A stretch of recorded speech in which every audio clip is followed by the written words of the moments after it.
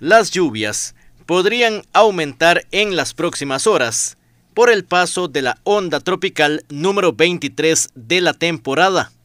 Se espera el arribo del fenómeno para la noche de este jueves y su avance por el país durante el viernes 28 de julio.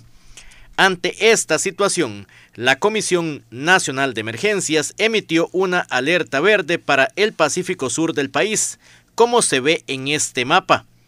Patrón atmosférico mucho más húmedo e inestable se empieza a apreciar a partir de este jueves sobre nuestro país de alrededores, lo cual está generando nubosidad desde tempranas horas del día en la mayor parte del territorio nacional, especialmente en la frontera norte de nuestro país, así como también en la provincia de Limón, donde incluso se han generado algunas precipitaciones matutinas. Durante la tarde será en regiones del Pacífico, Valle Central, también hacia la zona norte y sectores montañosos del Caribe, donde se estén experimentando cobertura nubosa, así como precipitaciones de variable intensidad. Se estima que durante la noche las lluvias se prolonguen a las partes costeras del Pacífico y durante dicho periodo nocturno también una reactivación en las precipitaciones tanto en la provincia de Limón como también hacia la zona norte.